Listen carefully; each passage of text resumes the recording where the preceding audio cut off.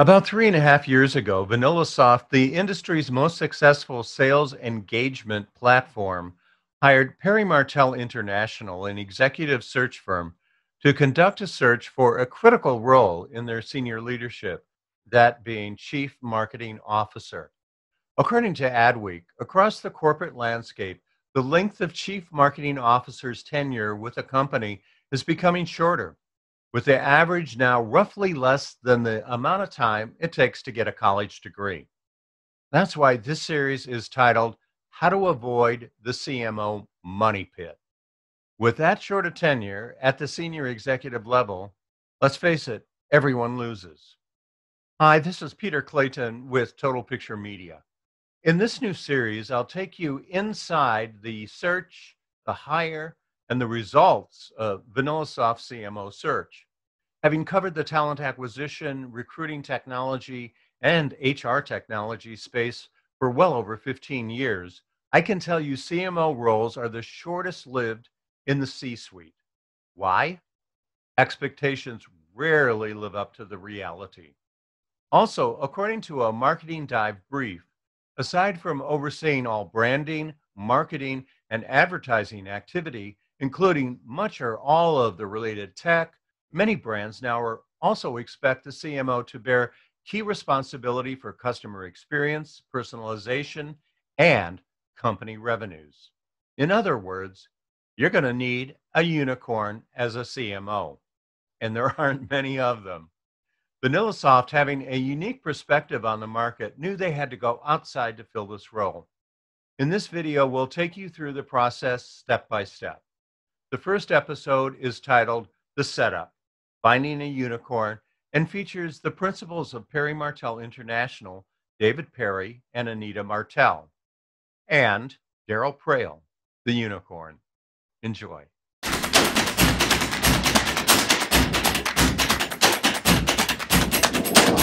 Uh, David, you've known Daryl Praill for over a decade. Why were you committed to discussing the VanillaSoft CMO opportunity with him.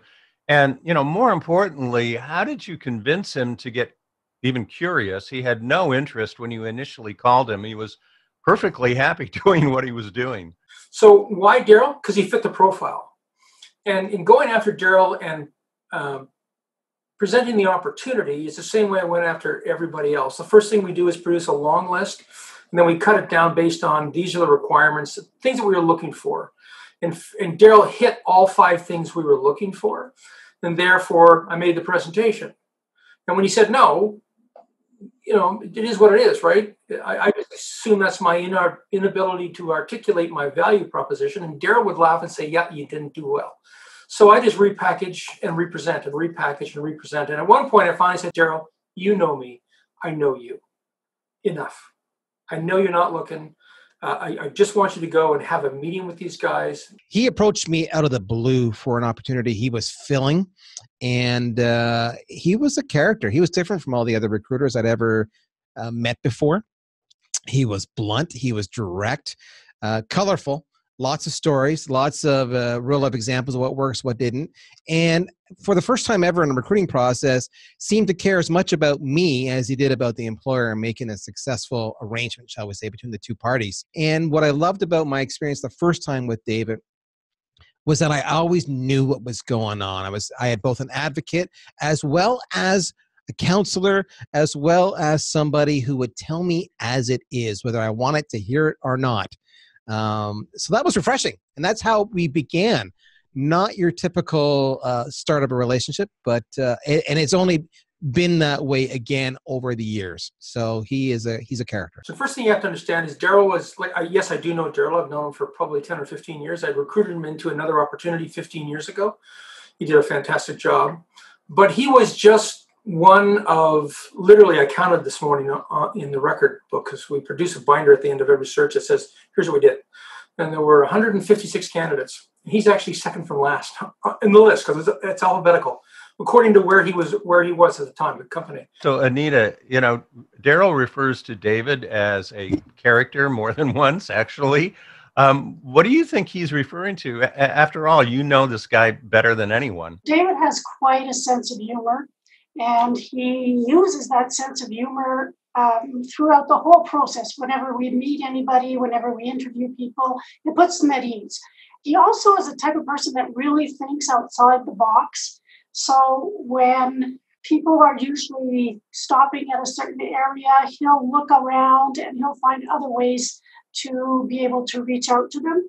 Um, the other thing too is he's just not afraid to talk to anyone. he talks to everybody in sight. So this breaks down a lot of barriers and it makes things go much, much smoother. Here's Daryl's perspective. David was an interesting character in the sense of because he's exposed to so many different opportunities and clients uh, and needs as he talks to all the people looking for uh, high talented individuals with a specific set of skills that he sees over and over again a lot of the same mistakes being made. In my intro, I introduced VanillaSoft as the industry's most successful sales engagement platform. So, uh, tell us a little bit more about the company and, and how you ended up working with them. Well, they actually uh, found us on our website, and uh, and the CEO pinged me and said, "Hey, we're looking for a VP of marketing. You want to talk?" David Hood knew exactly what he wanted. He knew where they were in the market space. He understood who his challengers were. He understood why they were better. They had 800 customers at the time, 800 customers. Probably the best known secret in Ottawa, because um, not too many people knew who they were. So this is a company that had just done what they were supposed to do, and and grab market share. And now they were ready to go to the next next level. It wasn't a, a company that suddenly got a whole pile of money uh, infused. These guys had bootstrapped everything, and, and that really amazed us because um, we tend to we we tend to work only with serious companies. I mean, and by serious company, so we specialize in three things real estate, big buildings, construction, and tech. And in tech, we focus on companies that are actually solving real problems, not companies that are making technology in pursuit of a problem to solve.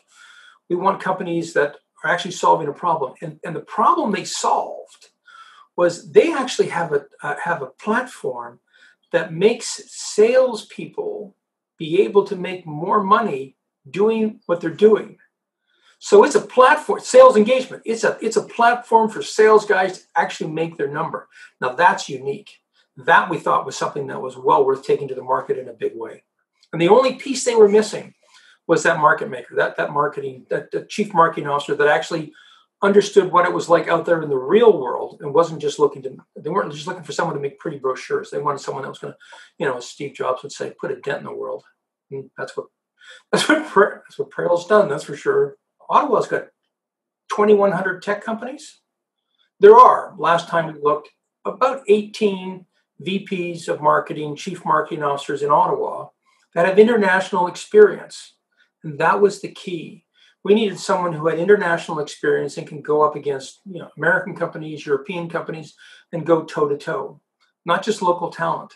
And that was the deal. And and we knew that by doing this, we were going to help this company grow, and, and we did. I mean, I don't think I don't think we can't tell you this, but you know, a year later, they'd already Daryl had already hit his three-year objective at the end of the first year, and they came back to us and asked us to hire, you know, 80, 87 more people, and we said it's not what we do. So we hired a director of um, talent acquisition instead and and put her in. And I've been recruited multiple times throughout the years, as happens.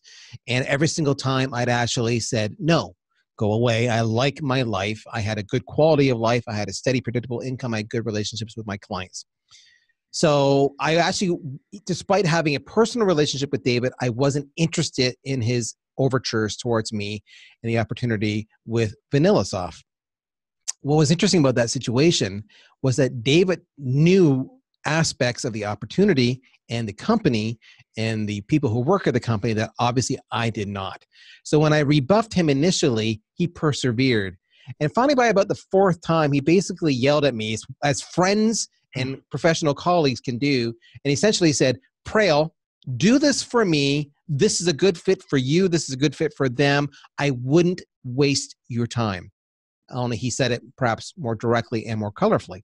And uh, based on knowing David, knowing his ability to identify opportunities, his talent, uh, his discerning eye, uh, and his tendency to protect not just the employer, but the employee me, because I've seen it firsthand. I did it. So, and then of course, the last thing you can do is tell David that he's right, uh, because then he just lets you know that he's right. So, which is part of his charm. Dave, I've known Dave for 40 years now. And even though he looks much younger, thank you. Um, he he's very tenacious, and he does he doesn't stop until he gets if he's committed to something, he won't stop until the job gets done. And I always found that a very um, encouraging and grounding quality about him.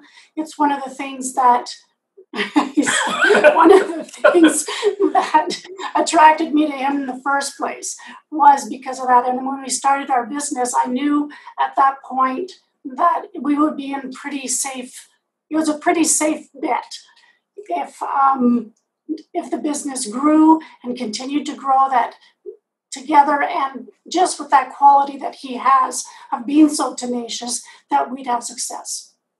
Can you speak a little bit to how David's and yours approach to something like the VanillaSoft opportunity um, as a team, working as a team? How do you go into an assignment and uh, split up the responsibilities, so to speak? We both look at things in two different ways. Mm-hmm. So David is very technical. He'll look at all the qualifications, all of these types of things that they're looking for whereas i will look on the human side and i'll look on a lot of i'll usually i'll be very quiet in, in interviews. So for when we start a project from start to finish we are both in the room for every single step. So the interviews with the candidates the interviews um, beforehand with the client to get to know the client figure out what their strategic plans are, where they want to be, how they want to go about doing the search, what they're comfortable with, what they're not comfortable with. And we spend a lot of time just talking with the clients, which right there I think makes a big difference between us and other search companies. Um, whereas other companies will maybe have a phone call that'll be half hour and then they're done they take the assignment and off they go to the races well we're not like that so we will speak with them we will meet well before COVID, we would meet with them in person, but now it's over Zoom. And then we usually have regular check ins every single week yep. with the client so that we can discuss what's, what's going well, what's not going well, where we have to adjust our plan. So, um, as a team, we, we truly do work like a team with our client company.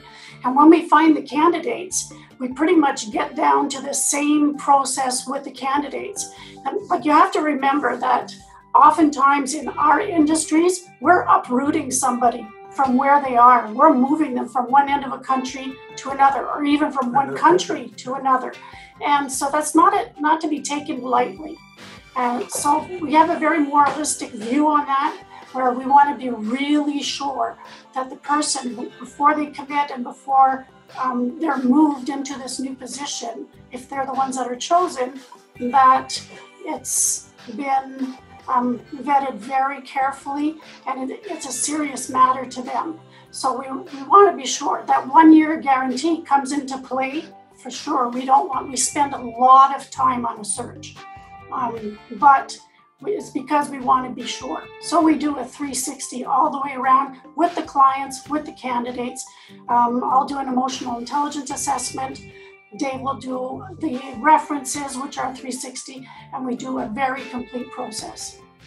The Tremendous cost of bringing, especially the senior executive, into a role. And if it doesn't work out, it's an emotional cost. It's you know a financial cost to the company and it also uh, affects the morale of the employees in the company. Every candidate we ever hire, my goal is to understand who their friends are. Their, you know, their top performing, high profile friends, and I want access to those people. So of course we treat them like royalty, both sides, but especially the candidate side, because our ability to bring, you know, change makers to the marketplace or rainmakers to the marketplace is predicated on our ability to reach out to them and our reputation in the marketplace. And that all comes from candidate side in this industry, more so than the client side.